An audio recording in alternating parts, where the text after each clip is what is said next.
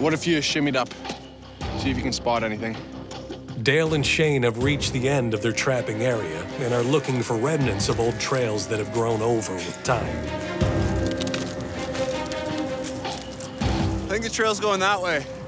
Shane is getting a bird's eye view, hoping to spot any evidence of an old pathway through the trees. Along the edge? Yeah, kinda. You're sure? Yeah.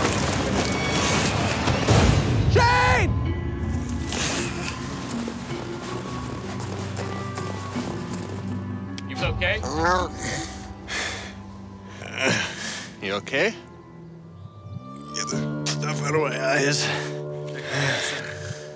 Here, here, take my hand, sit up. All right. Come on. Your back's okay? It's a long drop.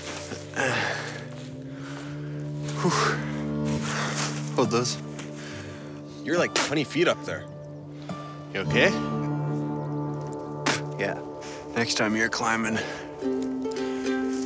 Probably do a better job of it. You're lucky you landed on your head. Not something important. I'm joking around right now, but this is serious. It could have been really bad. We're looking for excitement, but not that kind. You did see the trail, though. It Goes this way. Yeah, it's over there. Okay, good.